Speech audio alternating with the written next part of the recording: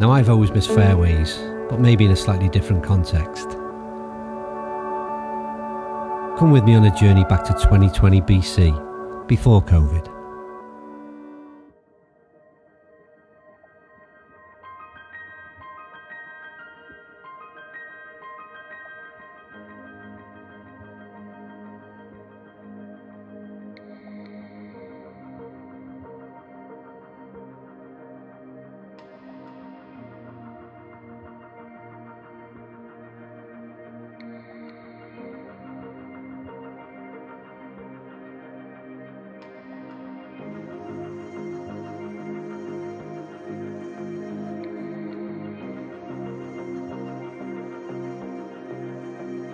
In July 2020, I embarked on a golf trip that would take me to seven regions of Scotland, 21 golf courses, lots of great people met, whiskey drank, and memories created. And it all started in East Lothian, and I'd be staying with an old friend, the legend that is Malcolm Duck.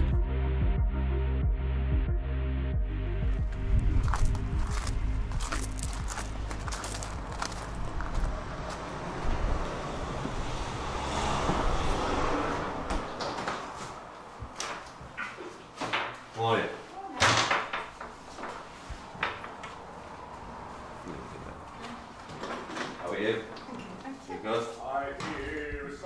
Keep that. on. Malcolm? the, the camera's on, so keep that singing going. How are you doing? Andy, I'm good, how are you? good to see you.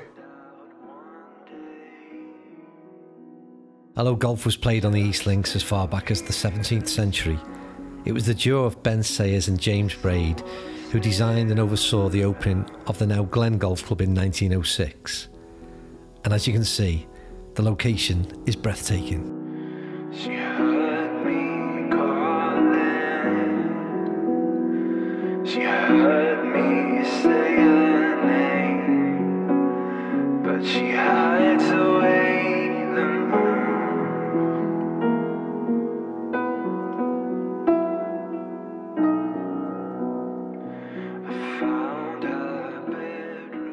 The 13th really is a special golf hole with little room for error.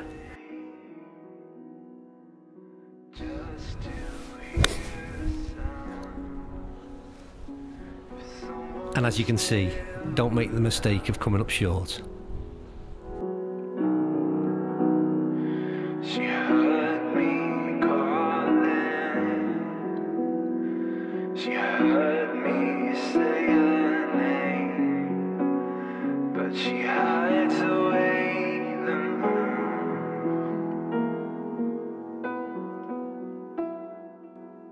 Next up, it was the host venue for Scottish Opens, Gullane, boasting three quality links golf courses. This time I played number two and took on a Hickory Challenge. I told you we are going to take on a Hickory challenge. It's a bit of a challenge. It's 196. We just got this in into this flag and into the breeze. But we've got. Is this a driver effectively? It's a kind of fairway wood. Yeah. I mean, they're all. I, I, I'm just getting into Hickory, so I don't know all the bits and bobs. But Boris, who runs a Jack White shop, Yeah, yeah. clubs up in the village, which is fantastic. But uh, a little bit of loft. But the great thing with Hickory is really slow. You swing down, really soft hands, and let the club head do the work. A lot more whippy. Lot, Yeah. lot more whippy, a lot whippier, so you can work the ball a lot more. So we're into the wind. Slow down that swing Slow down that swing. And, and shut your eyes. close your eyes. Couldn't you have picked an easier hole?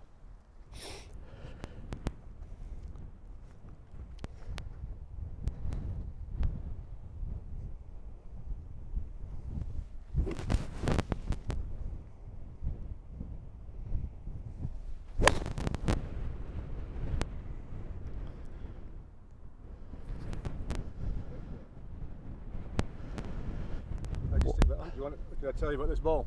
Do you know what? I don't care where it's finished because that was absolutely Perfect. yeah, it was good, wasn't it? Yeah. I know we all play golf for different reasons, but uh, for me, this is the reason I play golf. I've just played a par three with a Hickory Golf Club, but then I just walked down to this green, and wherever I look in front of me right now, it's just it's heaven. It's just absolutely stunning. So I found the bunker, you found the green.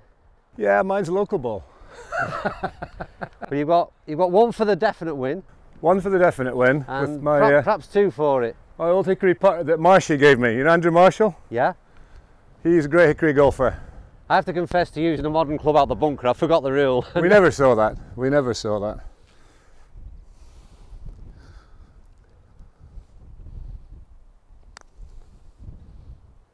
oh, go on. Go on! Well, that's good enough. Take that one away. Almost. So you got your three.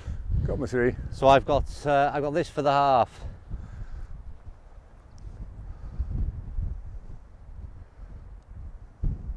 This is quite a bit different, the putter. Isn't it? Heavy head. Oh, you like it? Whoa! Oh, I thought I had that. Well, you had that. So the Hickory, uh, the, the, the, the Hickory Championships goes to Mr. Duck. Hold on.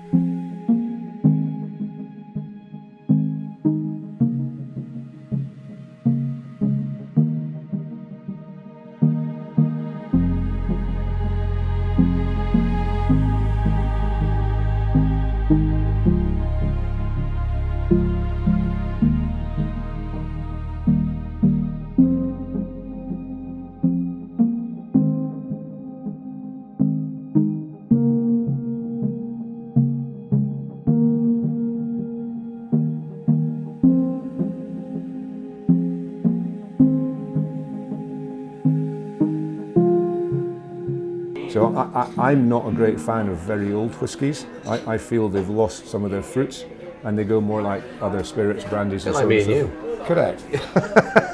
Absolutely. Can't argue that one. Following an evening of talking and tasting whisky with Mr. Duck, I would take on my final course, a relatively new kid on the block, with character that defies its tender years. It was time to play Craigielaw. Right, Malcolm, I'm about to kick things off in East Lothian on a course I've never played before at Craigielaw. Uh, Anything you can tell me about Craigielaw? I love it. 20 years old. Um, not quite links, but plays linksy, sitting right beside Kilspindie. Yes. Beautiful links golf course. Um, really, really nice design. I, I think you really enjoy it. The views are stunning, and Yeah, the yeah. people here are just really, really, really friendly. Um, Scottish, the Scottish, senior, Scottish seniors European Tour Played played, here. here a couple of Yeah, times yeah. as well. that says a So lot. you know you, you'll you'll enjoy it, and it's owned by the land's owned by the Earl of Wemyss, and they have a big. These families have big influences in golf because he owns the land here and at Kilspindie and at Longniddry. And way back then, in Mary Queen of Scots days, she would have come and stayed at the big house. So Right. this is where she started playing golf, going back to our cradle Uh, of golf. Onto this land. Yeah, absolutely. Wow. You'll enjoy it. Stunning, stunning views. Well, I look forward to it. it. I must admit, it looks impressive from up here. Some great Yeah. views and uh, not a bad day for it either. Yeah, beautiful day. I'm getting on that first tee. So you can you can drive the green, but Yeah, risk you and lay up reward and again. chip up. Risk and reward. We shall see. Thinking man's golf. We shall see.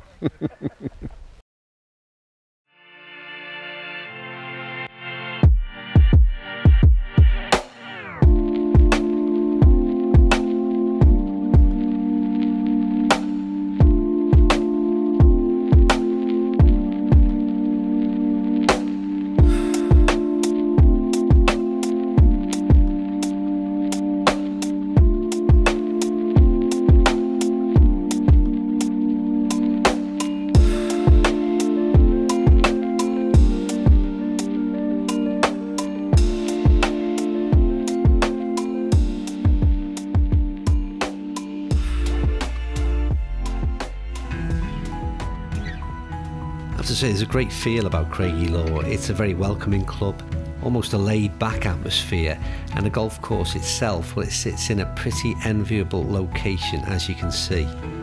It really is a joy to play, and uh, I suppose, what more can you ask from a golf course?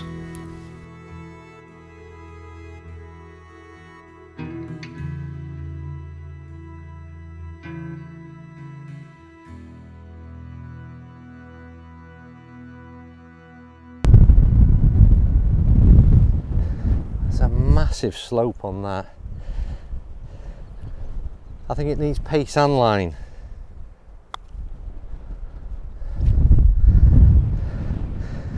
Go on, go on, go on, go on. Now I have a great affection for East Lothian. It was my first taste of golf in Scotland and remains a personal favourite. But it was time to move on.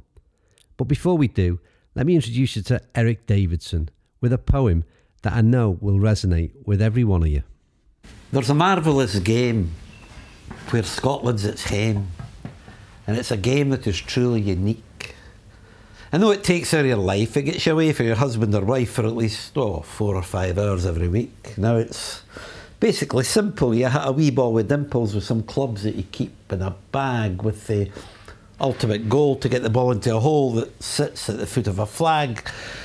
But that's where the simplicity ends because, as you all know, my friends, it's a game that can drive you demented. I mean, just when you've thought that you've played a great shot, next thing you're wishing it had not been invented. For example, you feel such alive when you've played a great drive and you've hit the ball square in the face. Or with golf, you feel smitten until you discover you're sitting in that divot that's not been replaced, or you hit a lovely wee wedge or that nasty wee hedge, but you're in a bunker and it's then you remember you've been in the Saint Mer and a French Legionnaire. In fact, you're an honorary member. But the thing is, to you, it doesn't matter if a dozen shots later you're trying to get out of that trap because you see, you've got the bug, even though you look like a mug and the golfing world knows that you're crap.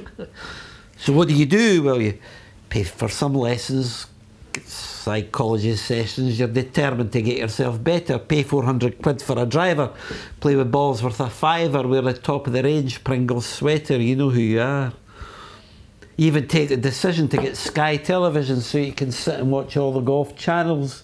You've even sued for divorce because you notice out in the course your husband or wife burnt a hole in your flannels. Meanwhile, your mates are convinced that your head's full of mince. You're now the you're now the biggest bore they've ever met. The thing is, it's sad but yet true. There are dozens like you who, when playing the game, tend to forget that Golf's no about fancy waterproof suits or spending fortunes improving your game. If you win or get beat to success or defeat, it's about it's about being able to treat them the same. It's not the shots that you take, it's the friends that you make, the camaraderie with your fellow man. So be it wind, rain or sun, just go out, have fun, enjoy your game while you still can. So all you golfers out there who throw your clubs in the air and are continually losing the head. If you want a quiet life and keep in with your husband or wife, stay in and do the dishes instead. Enjoy your golf.